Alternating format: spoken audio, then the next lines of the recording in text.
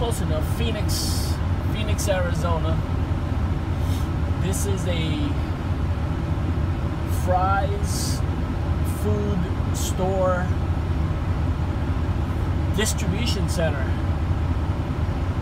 This thing is huge. Easily, they easily have, I'm going to say, a conservative estimate 500 trailers,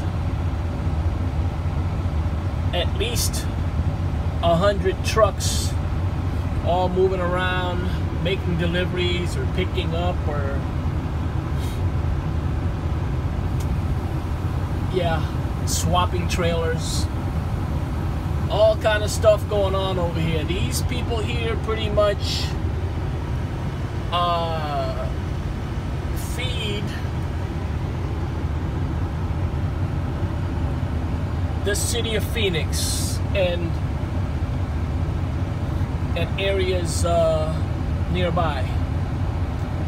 I don't think that the the the video does any justice to how huge this place is. I mean, I'm only filming from my vantage point, which is obstructed by all those trailers that you see in front of you.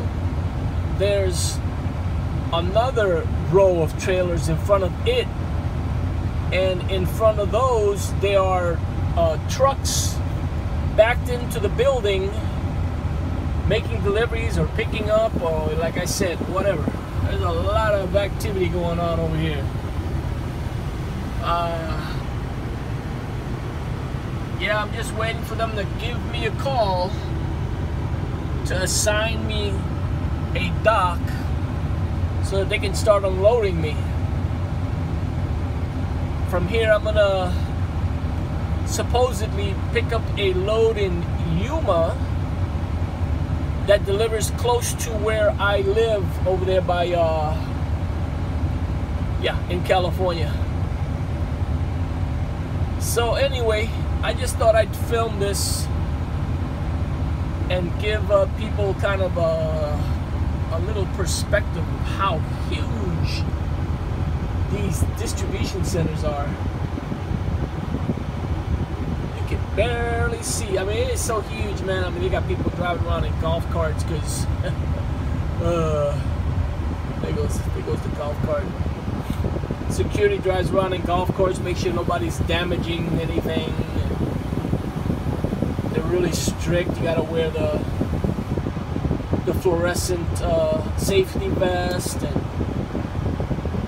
they want you to have your uh, four-way signals on, even though it's broad daylight. Like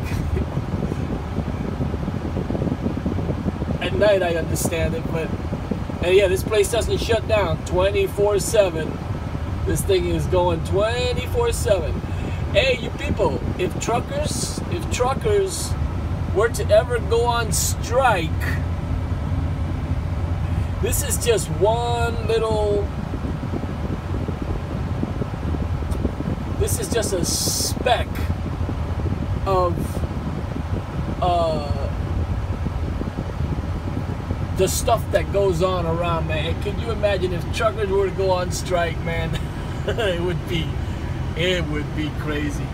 But yeah, truckers won't go on strike. Don't worry. I don't want nobody freaking out. But uh, yeah, this place is huge. Like I said, man, it, it goes way back there. I'm not even giving you guys like, I mean, that building right there, it doesn't end where you see, where you see, you see that. Oh, we are hiring. Uh, trucking companies are always looking for drivers. You guys out there that you know might be looking for a, you know, for a gig. Truck driving isn't for everyone, but uh, I really do enjoy it. I enjoy it. I enjoy being out on there on the road, I enjoy uh, sleeping back there in my my little bunk, waking up in the middle of the night, trying to figure out where the hell did I park. I don't even know what city I'm in, what state or whatever. So yeah. Uh, I'm waiting on a phone call. So these peoples could tell me where to back in so I can make my delivery. I've been out on the road too long. I don't like being out here this long. This this trip took me I'm still not home so I shouldn't even be counting my chickens yet, but I've been out here uh, since uh, what's today? Today's a uh, Monday. This Thursday coming up will be exactly three weeks when I left California. This upcoming Thursday, three weeks. And I don't like I, I, don't, I only like staying out 10 days at the most and then I start panicking. Uh, I, I, I like my home time. Anyway this is what it is. Thanks for watching